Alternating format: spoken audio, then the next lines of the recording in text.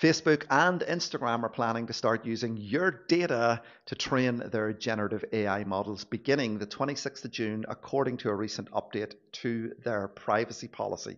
So, what does this mean for you, me, and everyone else who uses Instagram and Facebook? Well, in a nutshell, Meta is looking to use public content that users have shared on Facebook and Instagram to train large language models. Now, some good news for users in the EU and the UK. Authorities here have told Meta to pause plans to train large language models using Facebook and Instagram data.